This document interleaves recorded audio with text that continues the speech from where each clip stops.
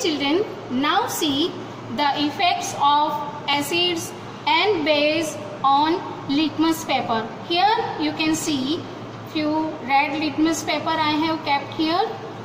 Blue litmus papers are there and these yellow strips are universal indicators. Universal indicators actually it is the indicator which shows either the substance is acidic, basic or salt. So here you can see uh, various numbers are indicated. The number 7 is for neutral substance. So if you put a drop of solution on this strip and if shows a color like 7 number that means it is a neutral substance. But as the number increase that means 8 to 14 it shows the solution is basic solution and as the numbers are lower that means it is acidic. So the greater the number it is most basic substance and as the lowest that means 1 3 or 1 are most acidic substances.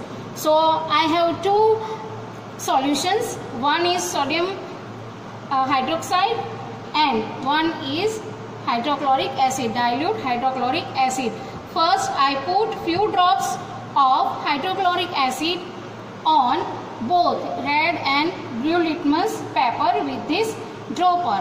Here in this dropper, I have put a few drops of hydrochloric acid. First, I put on red litmus paper. Can you see any color change on it? Obviously, no.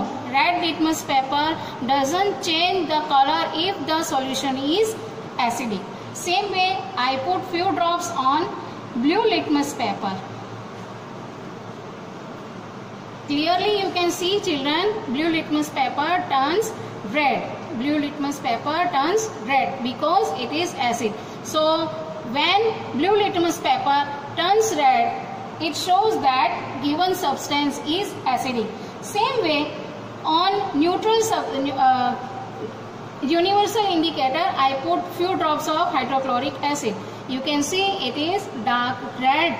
That means it shows in color 1 and 3. It is most acidic.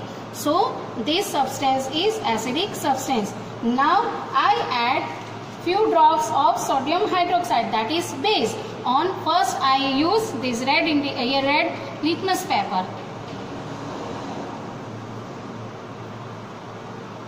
You can see the color has changed to blue color.